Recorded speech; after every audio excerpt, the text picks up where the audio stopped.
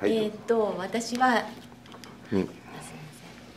はい、えー私はうん。朝に書いた手紙にはうん。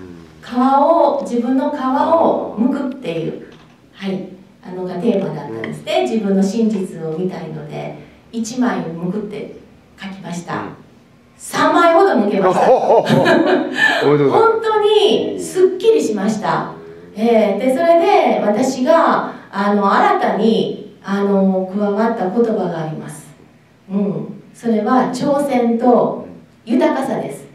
でさっきあの自分のことをねあの純純子ちゃんはあの言ってましたけど私はあの出てきたのは豊かさなので弁財天が出てきたんです。で私はめっちゃ豊かな輝いている弁財天って言われたらすごい嬉しいなって。うんサラスバティでもいいです。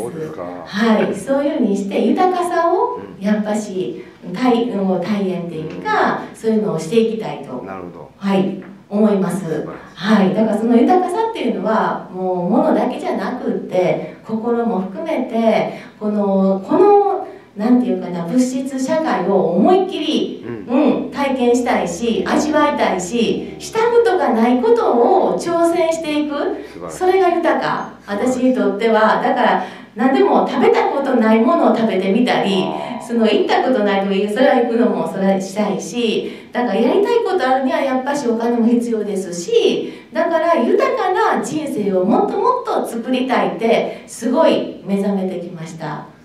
はい、そしてやっぱり透析っていうのも体験しました。もう体験そんないらないです。でも本当にこういった思い込みうん。思い込みを外してもっと自由にこの、あのー人生を豊かに味わうそして作っていくっていうことを私はあのー今日の、うん、魂の経済革命に出て本当に良かったです。もうすごい安すぎる。